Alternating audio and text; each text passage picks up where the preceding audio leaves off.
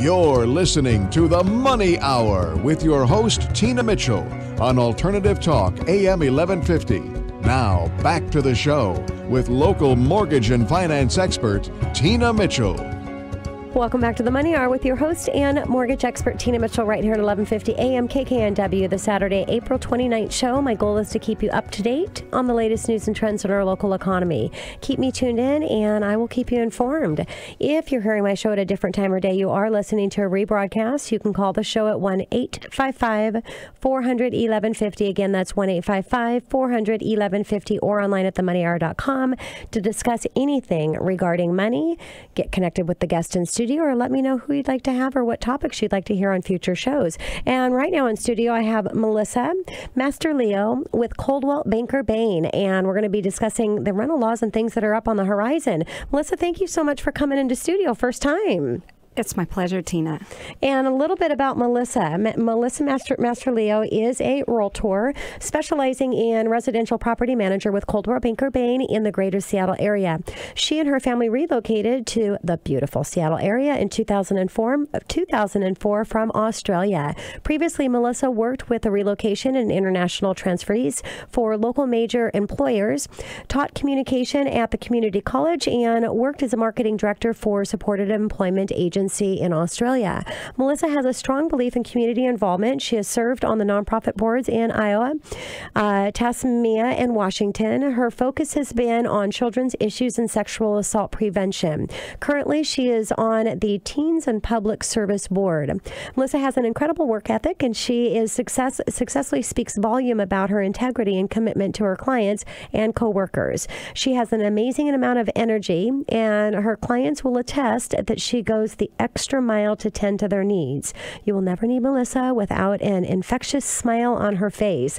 Among her many real estate and community achievements, International President Elite Coldwell Banker Bain 2016, International President Circle 2012 through 2015, number one Coldwell Banker Bain Property Manager 2012 until present, and Bachelor in Science and Social Work in Ohio State University. Melissa, it's just a real pleasure to uh, have you in studio and excited about our topic of conversation because there's a lot of things that are, that are happening in this arena. And I think it's really beneficial for uh, renters and people that are investors in looking at investing in real estate. So there's been um, uh, so much information in the news lately about how the Seattle City Council is making changes in favors of tenants. What brought this on? Well, as many of you know, homelessness is an issue in our uh, beautiful city. So there's been quite a bit of I'm wondering if our price increases and if disparate impact of those increases are causing some of these problems. The soaring rental prices have gone up, you know, in apartments specifically about 57% in the last 6 years according to the Seattle Times. Um, and the Seattle Office of Civil Rights decided to do a fair housing test a couple of years ago. And of those tested, 70 sorry, 60% of those had violations of fair housing. That resulted in 23 owners being charged, and they only tested three of the protected classes. That made uh, the council really concerned and mm-hmm. try to come up with some solutions to these kinds of problems. So, Melissa, what are the fair housing laws, and um, are only large property owners responsible to follow the fair housing, or are large property owners tested? Well, anybody can be tested. Okay. Fair housing laws started as an offshoot of the civil rights uh, legislations of the 60s. And they, the laws then established some protected classes. Since then, cities and states have expanded those. Currently, in Seattle, there are 14 protected classes. And we've been uh, one of the leaders in uh, tenant rights. So other cities around our area have adopted what ha- Seattle has first tried out. My company and I, we proudly follow all of Seattle's um, protected class ordinances, uh-huh. no matter what jurisdiction one of our properties is in. Okay. So, uh, Melissa, you spoke of a rental criteria prepared in advance to give to all prospects. What do you have on your criteria? Well, we are required to give everyone now by state law the criteria they'll be screened against. And those are different from company to company. Mm-hmm. Uh, most of the time, what they include are things like a credit screening and not specifically a score, income verification, employment verification, a criminal background check, an eviction history, and a rental history check. So it's a, really a, com- a, combine of all of these that, that the is is grading, um, if you want to call it that. So, what are some changes, Melissa, that the city council has made? Well, the city council has made quite a few changes. I was going to say there's been a lot of them. Yeah. Right? so we're not going to be able to focus on all of them today. Um, one of the things that investors uh, need to know is that each year they are required to give uh, an information book called Information for Tenants um, that's generated by the City Council. Mm-hmm. So, all of the rights and responsibilities of a tenant and the rights and responsibilities of the landlord are spelled out very black and white. Okay. So the changes have included uh, a first in time, first in line. Another one has been a changing the move in fees and how much you can charge, limits to the move in deposits, and um, quite controversially, uh, background checks in, in, regard to criminal uh, background to be reviewed on a case by case basis. So, Melissa, let's let's break those down. Okay, well, let fees there's now limits on what can be charged. Let's say you moved into a high rise condominium. Mm-hmm. Before, many owners would pass on the move in fees that the HOA charged. Those can be really expensive. I've seen them as high as $500. And that can be charged at move in and at move out. Now, those are considered an owner responsibility, a cost of doing business. Okay. The City Council will not let you pass those on. They've also limited the amount of fees to no more than 10% of the monthly rent. Before, there was no cap on fees. Also, you cannot charge pet fees any longer. Really? Um, my company and I, we've never charged most of the fees that uh, lots of other companies and individual landlords have passed on to tenants. We really do see those as business expenses. One of the fees that uh, there's limitations on now is cleaning fees. We've never charged those because it doesn't motivate the tenant to take good care of the property mm-hmm. and to mm-hmm. keep it nice and clean.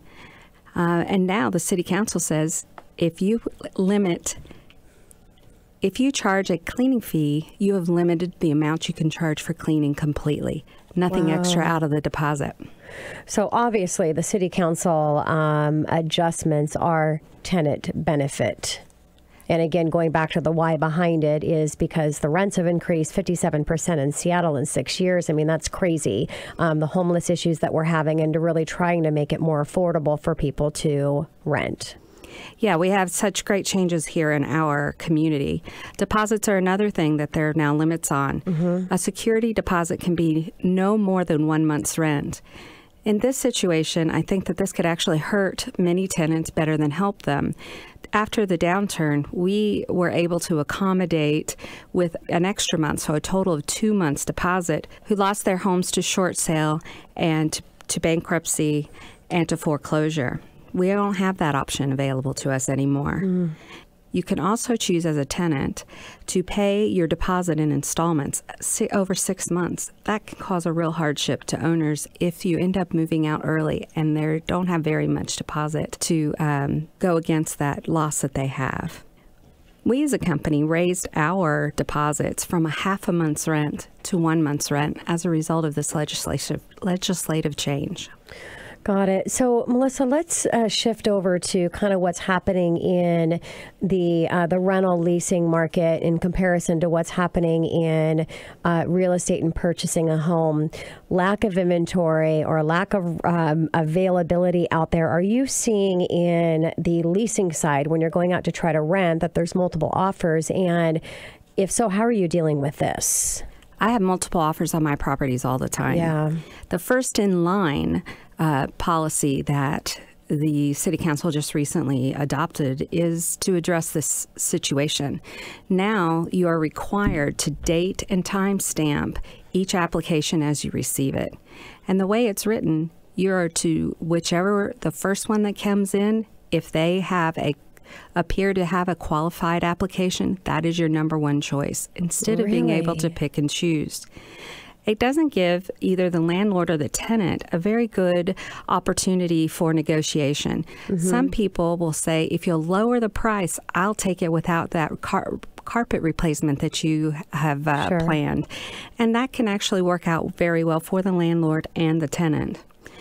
I have so much high interest in some of my properties that I may have 50 inquiries before I've scheduled even one appointment to view. It's crazy. So, how do I schedule those appointments and give everybody the same sh- shake at uh, securing it? The way I've always done it is that I schedule an open house.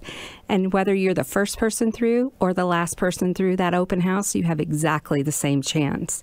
I give everybody the exact same information and the exact same deadline to get me their applications and their supporting information. If when I get to that deadline, then I assess based on only objective criteria. So that sounds pretty strategic then. So there's a there's a time everybody looks at it and the applications are all being collected at the same time so there isn't that first you know first one or whatever the um, the law is so everybody is getting that fair chance Well, that's what we believe will be. You Yeah. know, this is brand new. Okay. Uh, it's just come into effect and it's not being um, enforced until later in the year. The, this is really contentious, and there's a group of landlords actually who are suing the city Wow. of Seattle over this. So we don't quite know how it will all shake out. What I plan to do is continue to do this because I really believe in fair housing. Mm-hmm. Yeah. And fair, fair housing is about treating everybody the same every time. Yeah. And so that's what I've always used as my guiding principle. Yeah, makes sense. So comparing it with real estate, completely different because you are out there, you know, help um, some people that you've helped get into rentals and, and you're moving on and helping them with their real estate transactions as well. So it's completely opposite of real estate and just bidding up and, and taking the highest bidder. So, Melissa, do you think other cities are going to make these changes? Because we're talking about Seattle. So we have a lot more, uh, lot more cities. So do you think that they're going to follow suit? Well, all the cities face the same issues. Uh-huh. So it's not different in Bellevue or Renton or Edmonds or Everett. anywhere else in, in the state, um, really. Um, the thing is that we'll have to watch how it all plays out in Seattle. And just with some of the other like additional protected classes, we will see these things jump the lake and come over to the east side. Yeah. So, Melissa, what are other issues facing uh, landlords in Seattle? Well, currently there's a tenant who is suing her landlord, well, the landlord she wanted to have, because her uh, application was denied. She had an eviction in her history that was charged, even though it didn't occur. So just because she had been maybe going to be evicted, she didn't get the apartment. Uh-huh. So now we're looking at a possible change that eviction history will have to be considered on a case by case basis. Criminal background history has already passed that it has to be handled on a case by case basis. These are really sticky, thorny So, case issues. by case basis, what does that mean? Well, we don't really know yet. Wow. because, I mean, those are big things. I understand if the eviction didn't go through and there's, um, uh, you, know, but eviction and criminal records, I mean, these are big things. And it's a big risk for any of the investors out there that are looking at investing in real estate. You've got to really think about that. Um, a whole nother show and conversation, I'm sure that we can have on that. And I'm, I'm interested to see how these things play out and to bring you back in studio for that, uh, Melissa. So, last question before I wrap up the show here today. Uh, we have a huge wave of new investment buyers. What advice do you have for them? I talk with them all the time, and I encourage them to keep their passive income passive. Hire a professional. Yes. A property manager can navigate these turbulent waters for them. Uh, they, it's a sh- another metaphor is shifting sands. It's changing all the time. So they can go about earning money the way they know best, and then they can have their property manager allow this to uh, be a good way for them to plan for maybe their retirement. Yeah. Um, the property manager will have the knowledge and skills for them to be able to do the right thing at the right time. You know, great advice, Melissa. Same thing. Your financial planner, you want to work with a financial planner. You want to make sure that you have a private insurance agent that's going to take care of your insurance and make sure that you've got somebody that's going to manage those properties because there's a lot of stuff that's going on and obviously a lot that's coming up that needs to be navigated through. So, Melissa, thank you so much for coming into studio, sharing your wealth of information with our, our listeners. I appreciate it. Thank you so much, Tina. And this is your host and mortgage expert, Tina Mitchell, signing off for the day. Enjoy the rest of your Saturday, the rest of your weekend. And I look forward to talking money with you right here, same place, same time, next Saturday on 1150 AM KKNW.